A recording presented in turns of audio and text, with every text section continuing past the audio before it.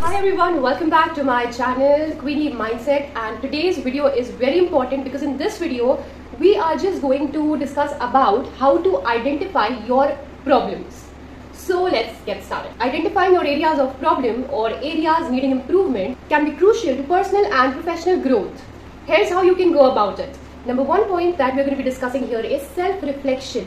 Take time to reflect on your experiences, actions, and outcomes. Consider situations where you felt challenged or encountered difficulties. Think about what went wrong, what could have been done differently, and what you could learn from those experiences. Second point is solicit feedback. Ask for feedback from trusted friends, colleagues, mentors, or supervisors.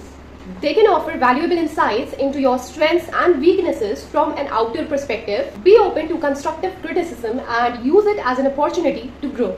Next, we have to consider the point self assessment tools. There are various self assessment tools or quizzes that are available online as well as in the books that can help you identify your weaknesses, strengths, personality development, and areas for development that can help you identify your strengths, weaknesses, personality traits and areas for development so that you can improve in future. These tools can provide a structural approach to self-discovery. Next point is set goals. That's like very crucial one. You need to set goals. Set specific, measurable, achievable, relevant and time-bound SMART goals for yourself.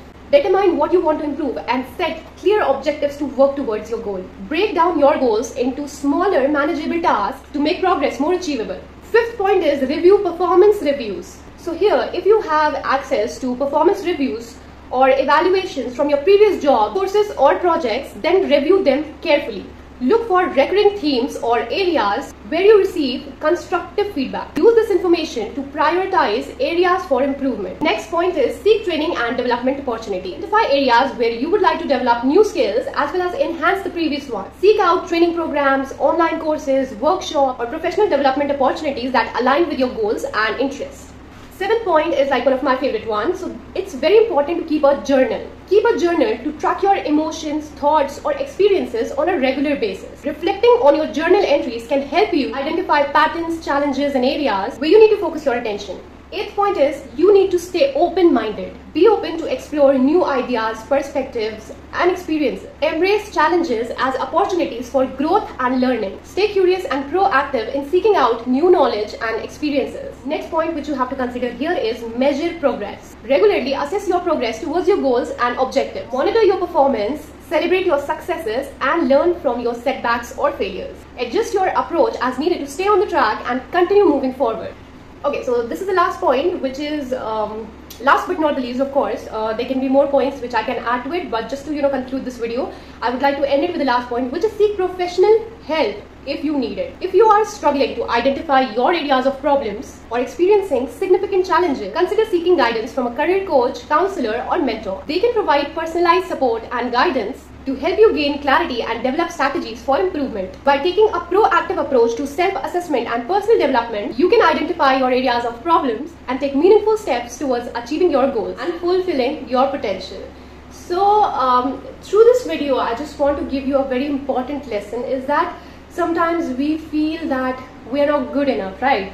So uh, at that point of time, you do not have to feel low and just uh, just sit with yourself and think about it. Um, every person goes through highs and lows. Like it's life uh, you have to go through roller coaster emotions. So sometimes you feel there are like a lot of problems around. So in order to identify your areas of problem first of all you need to reflect you know self reflect as i've already mentioned that that's the first point self respect uh, self uh, reflect. So uh, you need to identify what's the problem like why you're getting uh, you know low vibes and what is bothering you. So sit with yourself and you know just discover your areas of problems and work towards it because eventually uh, after you know if you like eradicate those points if you if you got to know first uh, you need to know what are your problems. Okay basically write it down somewhere make maintain a journal as i already told you.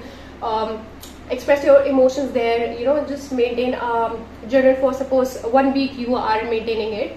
So uh, each day what is making you sad? When whenever you're feeling sad or you're getting a vibe of grief then what could be the reason you know uske aas what you were doing? Kiski wajah se you uh, felt that negative vibe or negative emotion? Then write it down and then work towards it. Uh, thoda sa different uh, uh, days mein apne kuch activities you can include so that uh, you can have a happening life. So basically it's just a temporary phase if you're feeling like stuck somewhere. So um, for that just need to identify your areas of problem. And once you identify them you will work towards them to you know eradicate them completely from your life. And once you have like achieved that thing uh, then it's like nothing. It's nothing. Actually it's nothing. It's just in our mind. So we just need to refresh from you know every now and then um, I, can't assure you that after you know um, reflecting what is bothering you after reflecting after solving everything uh, at some stage of time again you'll get those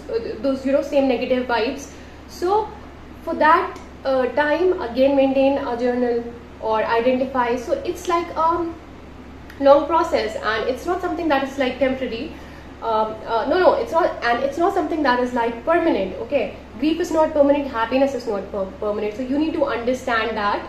And if some day is bad then the other day is going to be good. So yeah. Reflect self reflection is the key um, to eradicate any problem that you are having around you. So yeah. So follow these points and we're going to be like back with a new topic in the next episode Okay, so the next topic that we're going to be discussing on our next vlog is how to build self-esteem. So I'll be teaching you some ways of building self-esteem because self-esteem is very important and we should know our own worth so that we can feel the whole. So yeah, we're going to be discussing in our next video um, how to build self-esteem. So अगर आपको ये video पसंद आई है so please channel को like करिए subscribe करिए share करिए और बहुत सारे कमेंट्स करिए एंड अभी I am just working on the personality development course so yeah बहुत अच्छे अच्छे इंटरेस्टिंग टॉपिक्स पे वीडियोज़ आने वाली है. So I just need your motivation down like there in the comments so yeah thank you so much for watching it I hope you guys like it bye bye have a good day